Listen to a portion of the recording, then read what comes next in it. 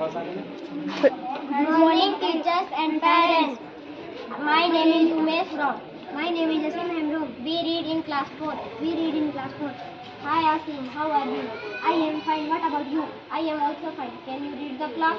Yes, I can. Okay, tell me, what does the small hand show in the clock? The small hand show hours.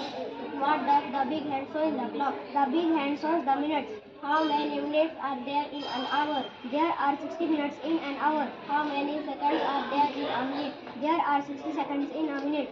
How many numbers are there in a clock? There are 12 numbers in a clock. How many how many minutes are there between two numbers? There are 5 minutes between two numbers. Who founded Hindus? Hindus is eternal. Who founded Islam? Hazrat Muhammad founded Islam. Who was the founder of Christianity? Jesus Christ was the founder of Christianity. Who founded Si- Sikhism? Guru Nanak Dev founded Sikhism.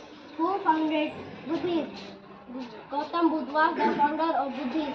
Who was the founder of Ramakrishna Mission? Swami Vivekananda founded Ramakrishna Mission. Who founded Gayatri Parivar? Pandit Sri Ram Sharma was the founder of Gayatri Parivar. Who was the founder of the Arya Samaj? Swami Dayanand Saraswati was the founder of Arya Samaj.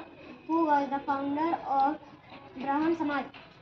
Raja Ram Mohan Roy was the founder of Brahman Samaj. Who wrote India David?